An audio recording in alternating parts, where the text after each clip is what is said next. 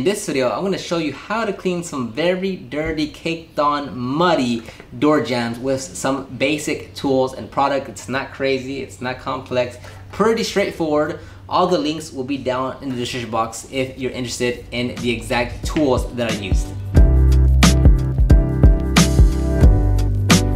Okay, so here it is. As you can tell, it's pretty caked on. It's muddy. It's a work truck that goes out to the job site all the time. So, you know, you would immediately think, oh, I need to get a pressure washer. I need to foam down that door, that door jamb. Actually, no. All I have is a garden hose. Garden hose, pretty straightforward. I put it on the center setting, and I literally just rinse it down, and that knocks off about 60% of all the mud.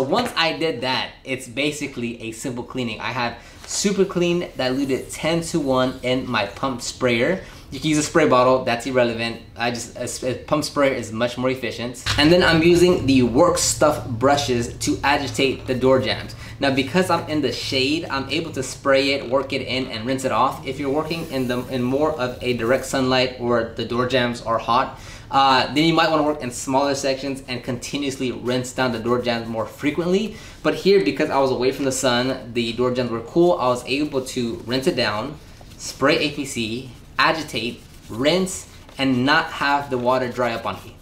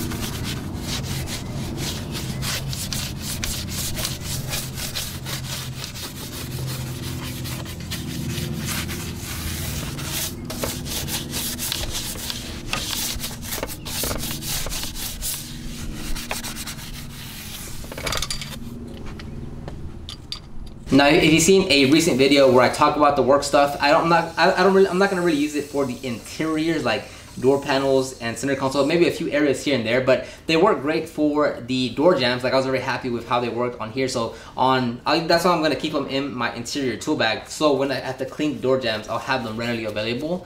Um, so like I wouldn't want to use the Detail Factory uh, brushes on those because those are just too nice for the door jambs. When it's something like this, like caked on, dirty, muddy stuff, it's too uh, too dirty for that. So that's where the work stuff brushes come in perfectly. And if you saw the other video where I, I reviewed it, I say they have their place, just very selective of where that place is. But on door jambs like these, perfect scenario. Now, as you're working around the door jamb, inevitably some water will fall into the, like on the door panel or onto the carpeting, into the interior. Just have a towel on hand, get ready to wipe it down. If you just spray a little bit over the door jamb and like some of it gets onto the carpeting, just dry it off real quick and just within 30 minutes it'll dry. So don't think you've like ruined the interior or like, you know, a splash, a, a, a few dots of water got on the leather seats. Just wipe it down. If you got a little bit too much, just wipe, just try to dry it off as best as you can with a towel and let it air dry. It's no biggie. You're not gonna destroy anything. Now, if you just remove common sense and logic out of your brain and you just douse the door panel with the water hose, yeah, you're gonna run into some problems. But anything short of that, you should be okay. Now here I'm just going to use the brushes to clean the entire door jamb. Uh, I before this, I had already cleaned the A pillar, B pillar, and that uh, plastic door step sill thing.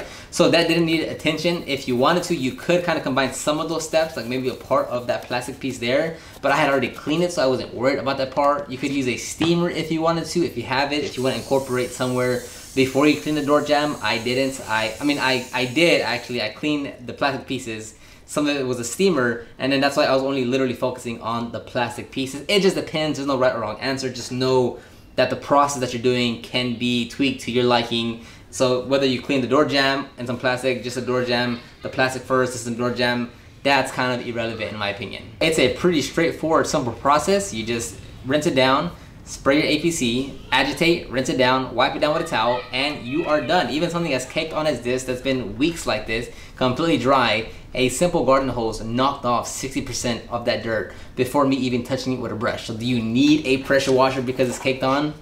Apparently you don't, so hopefully that helps you out to some degree. Let me know if you have any comments, questions, concerns in the comment section down below. Let me know what you think about the video, and I'll see you on the next one.